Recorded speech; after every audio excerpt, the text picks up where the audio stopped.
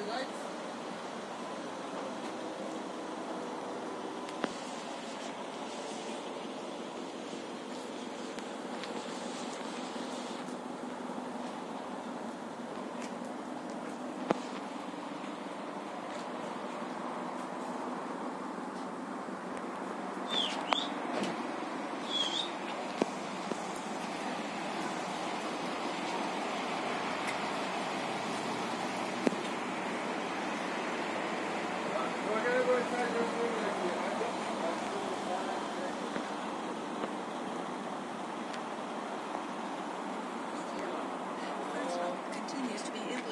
as a major problem in the illegal drug supply. It was detected in approximately 87% of all illicit drug overdose deaths in 2018.